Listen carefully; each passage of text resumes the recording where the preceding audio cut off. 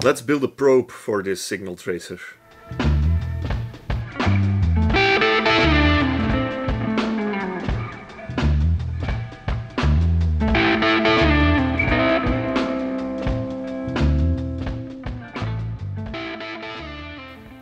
Hello everyone, welcome back. Um, as you might have seen in the last video, um, I repaired or yeah brought this uh, little signal tracer here back into operating condition. There's only one thing left still to do and that's building a probe because I don't have the original uh, probe for this signal tracer so we need to create a new one um, because the goal is to not have this just in working condition but also actually use it um, as test equipment uh, so I will give it a place on the workbench so that, that I can use it when I am working on yeah radios. Um, now, obviously, without a probe, you're not gonna do much. Um, so the plan is to build a new one, and I do have all the ingredients here already. So now, what kind of probe does this need to be? Um, it's not just any ordinary probe that you can simply attach to a device like this.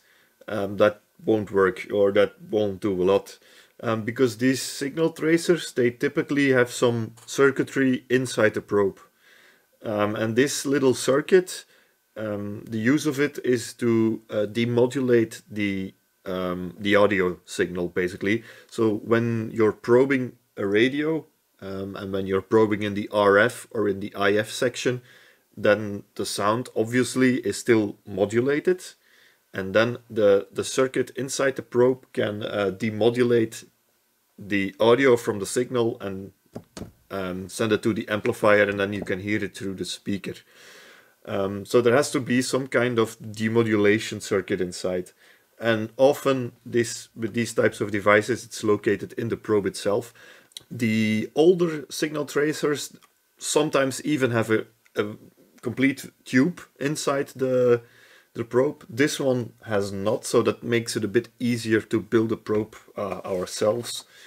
Um, and what is also nice is that here on the schematic, they do show you here the little circuit that needs to go inside the probe. See, it's a demodulation probe. so what we have here is this is the probe tip.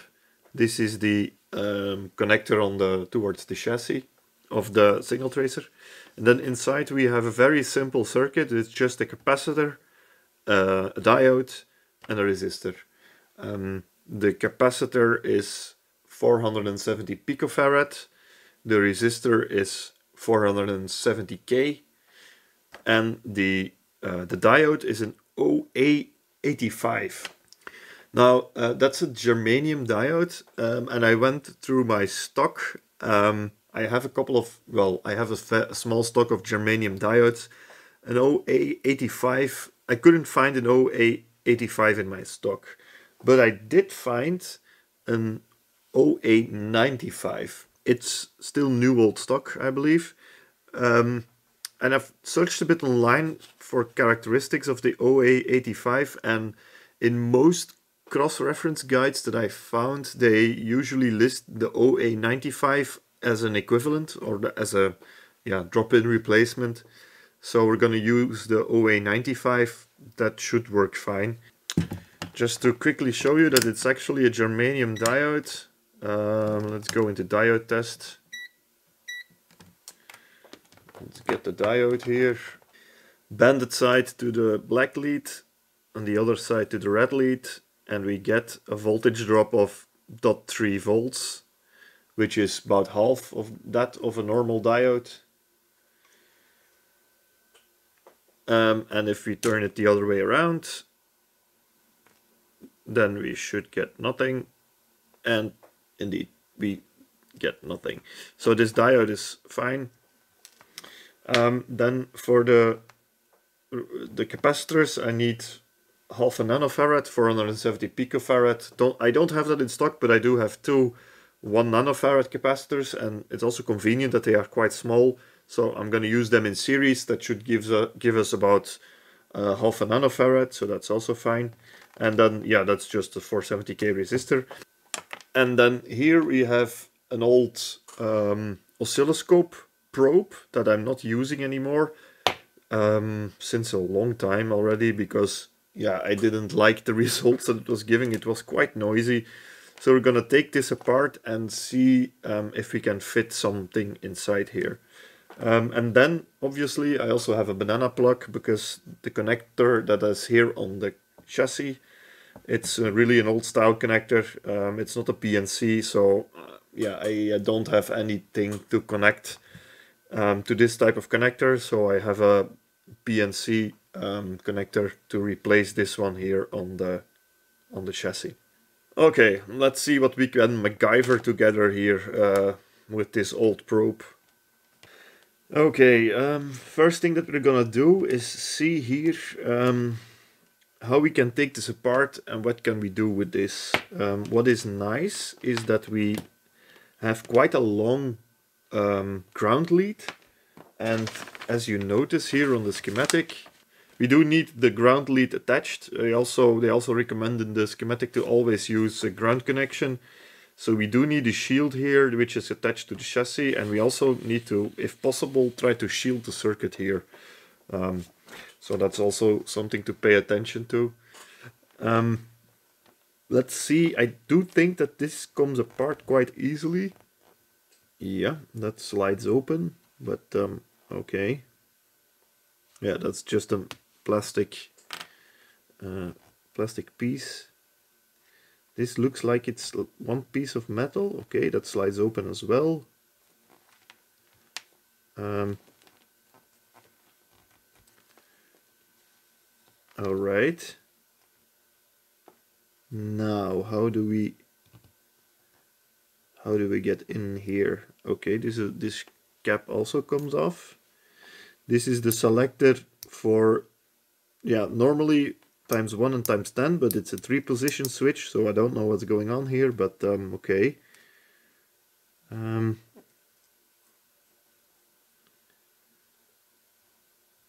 this seems to be all in one piece, which is not that great, but we do can hopefully reuse this casing here as a as a shield but um,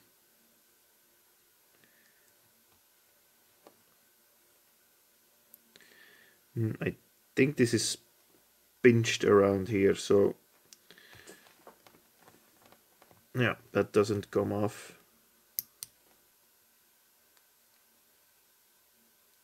Yeah. I think it can come out like this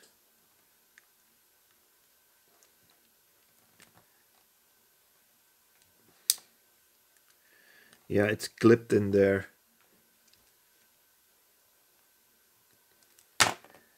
Okay. Uh, okay.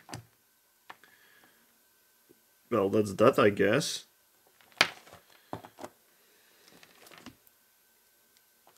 Oh. Oh. That's nice. Oh, wow. We have a nice shield here. Okay. So what I can do is, see we have a PCB inside here as well. See a printed circuit board with some components, or yeah, this is the switch. Um, here we have a resistor, obviously. So what I'm gonna do is I can reuse the tip here and I can make also a sort of yeah, from from some of prototype board, I can also make a uh, a uh, prototype or a piece of PCB that is this thin, and then lay out the components on there. Um, and here we simply have an yeah, simply a wire sticking through. That's quite funny, but that should work. And this, I guess, is the yeah I guess that's like the shield connection. Okay. That might actually work. Let me see what I can fabricate and then I'll get back to you. Okay, um, so this is what I came up with. And um, honestly, it took me a really long time to assemble this. Uh, much more than I anticipated. I think it uh, took me like a couple of hours or so. I had to start over three times, I think. See, this is one of the first attempts which failed. Um, and this is now, I think this should work. So what I did is I took all the hardware uh, from the original probe. I took the tip from the original probe. And then, then I took a very small piece of a um, prototype board and I cut it so small that it basically fits inside the original shell of the probe. So then we can use this shell as a shield. Um, and as you see, I have here the components uh, mounted on this board. So you have the input coming in from the tip, obviously, and then you have the two capacitors, and you have the germanium diode and the the resistor. So the output of the resistor is the is basically the connection which should go to the signal uh, tracer. Uh, it's the signal itself. And then here the connection which comes from the diode, that one should be connected to ground or to chassis and should also be connected to the shield. So to this part over here. Um, and the cable of the original probe I reused, it's a coaxial cable, so it also has a shield and that also proved quite a bit of challenge because the connection here inside was broken. So I had to remove this uh, yeah, shrink mount. Um, make a, I had to cut off a bit of the cable and make the new uh, good connection here. And then see this is the connection which comes from the diode and it goes through a hole here. Um, there was an original piece of wire stuck in there, so I had to remove that. And it, yeah, it's basically crimped here together with this connection, but to be 100% secure, I added a bit of solder here as well. And then, I don't know if it is visible on camera, but the wire, which is from the coax cable, is really, really thin. I soldered that onto a bit of a bigger piece of wire and that goes to the resistor. Um, so it took a long time uh, to assemble this. Normally it should fit, see, if I pop that in here.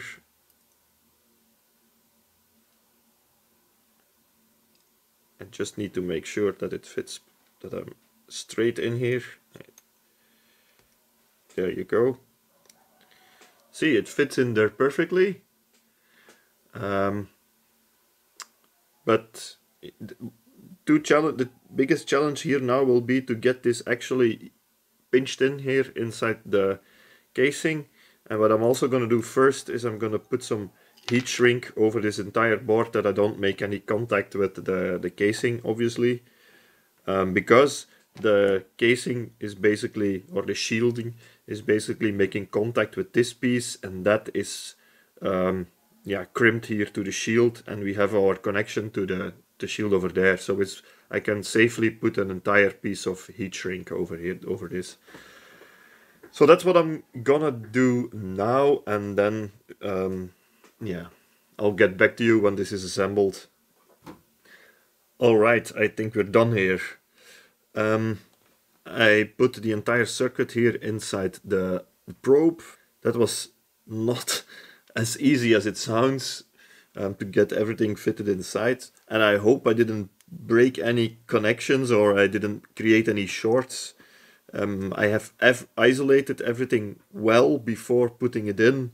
Um, so I, I hope that uh, yeah that it stayed intact while pushing it in, but we'll see. um, but I'm honestly quite happy with the result. It looks quite nice. I put a, bit of heat shrink here over on top to cover up the holes that were for the original switch. Um, and there is also a bit of metal tape underneath um, to act with as a shielding. Um, but honestly, uh, the probe looks quite okay. Um, the only thing I now have left to do is to change here this, this um, connector for the input to a BNC plug. Um, let's see if that will be easy or it will be also as convoluted as creating something like this. So, okay, so here we have the connector and as you see two connections, um, you have the ground here on the, that's this side and then here you have the the signal itself. It's also a coaxial cable, I guess, because the shield here is attached to the ground and that one is going to the attenuator switch so we're gonna have to get this loose. Um, I don't know where it is soldered. This one is quite obvious, but that one probably somewhere in the connector.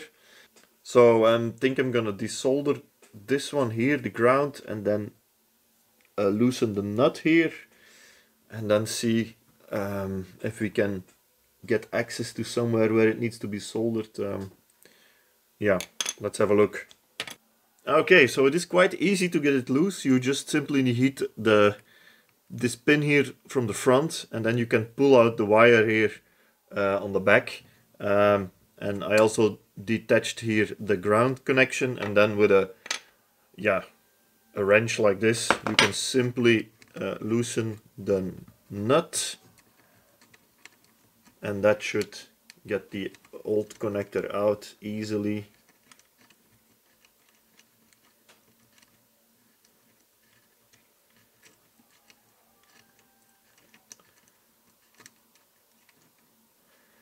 There we have it.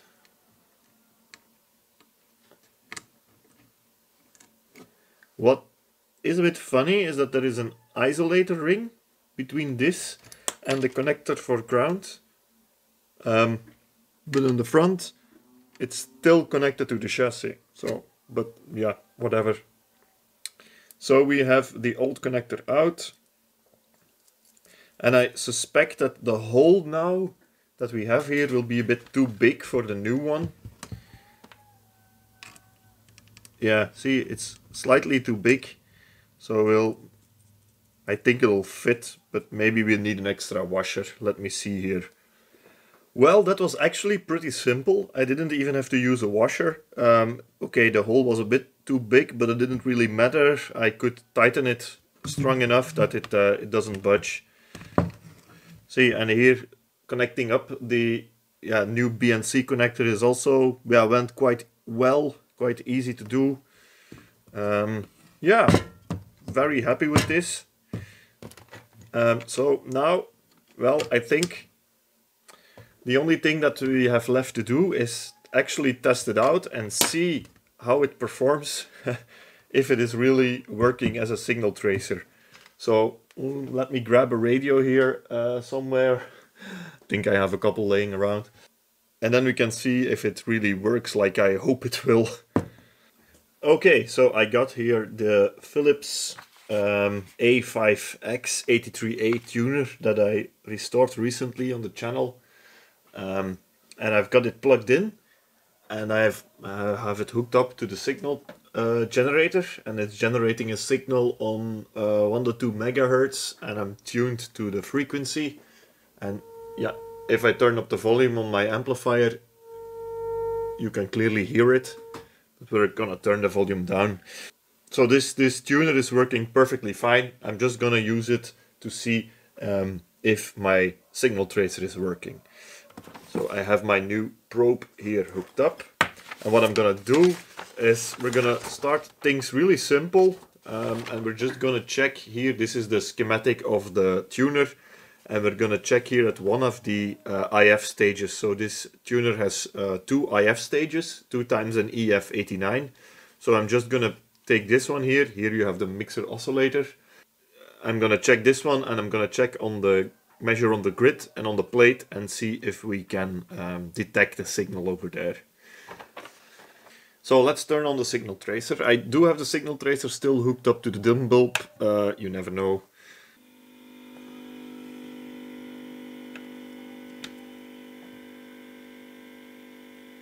And the, the tuner not, obviously, that one is uh, simply connected to, uh, to the mains. So the tracer is still working. I'm gonna put this to quite a low um, signal. So the attenuator switch over here, um, the labeling is a bit um, misleading. Because it is labeled as attenuator and then you would think that a, higher number is a higher attenuation but that's not the case. Um, the numbers here, they are a sort of indication of the signal strength. So the higher the number, the lower uh, or the less attenuation you have. So I'm just going to put it on quite a low uh, number just to start with. Um, all right, let's try this out. Now what we're gonna do is we are going to measure first here on uh, tube B3 at pin 2. Let me find out where it is. Okay, so I found out where I uh, where the grid is of the, the tube. So I'm first going to connect here the ground lead to the chassis of the tuner or radio that I'm inspecting. Now let's see here pin 2. Pin 2 should be over there. Nothing.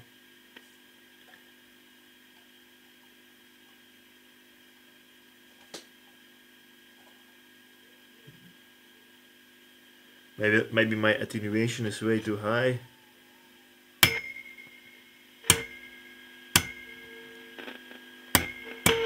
Ah, yeah, I can hear it. Awesome.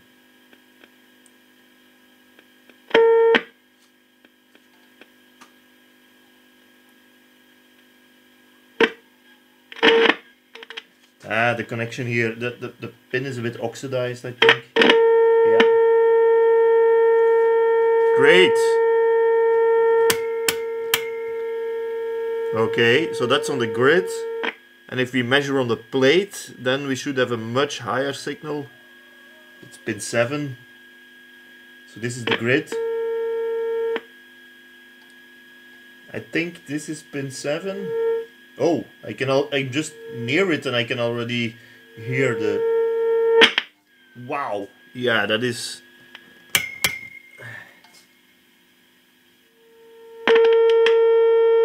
Yeah, that is quite clear. Wow.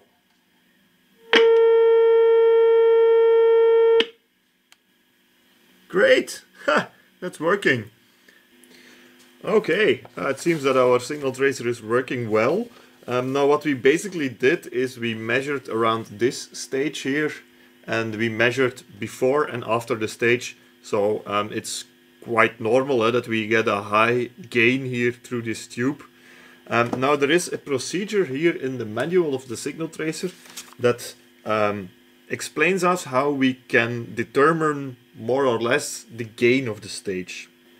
Okay, so how does it work? Um, and put the camera a bit closer because we really need to see our uh, magic eye for this procedure. So what we're gonna do is we're gonna measure uh, before the tube on the grid and then we're gonna note down the settings that we have for the attenuator um, and the sensitivity and we're going to remember um, the state of the magic eye. Um, so the idea is maybe to put a magic eye in a position that you can clearly remember it. So let's see. So I'm going to again go to pin 2. So here we have pin 2. And now we're going to see to set these dials in such a way that the magic eye has a certain deflection that we can remember. So maybe let's do it like this. We're at 30 and that's completely saturated. Maybe we can go something like like this. Maybe like just not completely closed.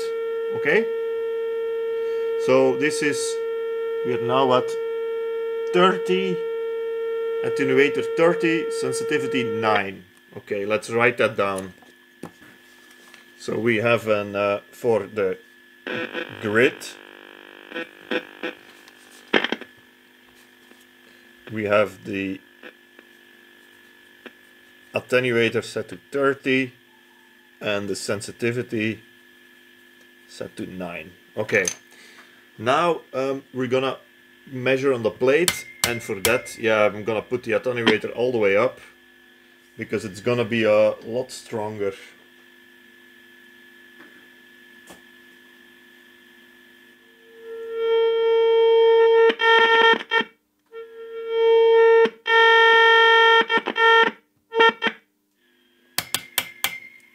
obviously all the way up is to the in the other direction. Man, I'm stupid.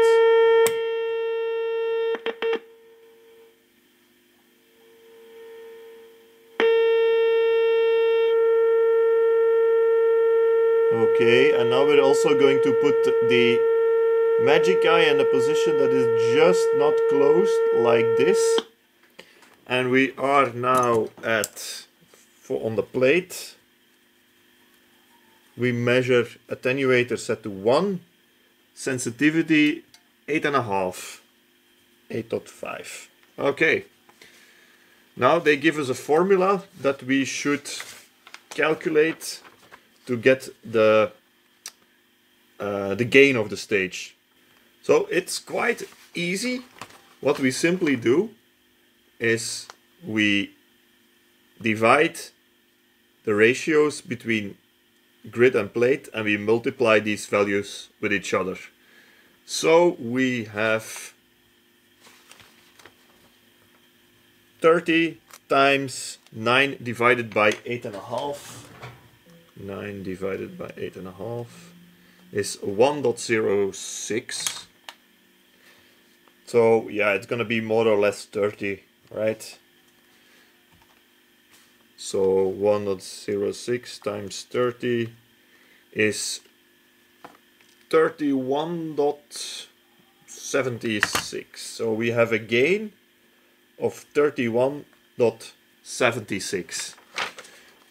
Okay, um, I could go ahead and start measuring other things and stuff like that, but um, I'm not gonna do that. Um, you'll probably see the signal tracer popping up again in one of the one of my next upcoming videos or restorations. So um, I'm gonna disconnect everything here, um, power down my radio, power down the signal generator, uh, the signal tracer, sorry. I, I'm gonna keep calling this a signal generator also in the next videos, so if you ever uh, hear me say signal generator, always think, is he talking about a signal generator or, or about a signal tracer? Because I'm, I'm gonna make this mistake like a gazillion times.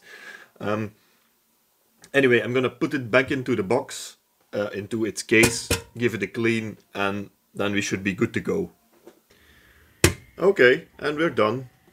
Um, I gave the cabinet a clean. Now the cabinet isn't perfect. There are quite a bit of yeah spots of rust, some scratches, some paint missing, some dents. But hey, I'm not gonna bother. It's not a restoration. Um, it's a repair, and I really want to use this as a test equipment, and I don't think that it makes sense to look this uh, like new. Um, so technically it's now in perfectly workable condition and it looks slightly used. Let's call it like that. But hey, I am happy with the result here. Um, and I also, honestly, I really like how it looks. It's a really nice looking piece of piece of test equipment. Um, yeah, it look, looks really vintage and it will look nice on my workbench. I'm give, gonna give it a uh, yeah, a prominent place on the workbench. Um, I'm thinking about um, mounting a, a rack here somewhere against the wall so that I can put it here on a, on a, yeah, on a rack, that it doesn't take up space on the table, but I still have to think about that.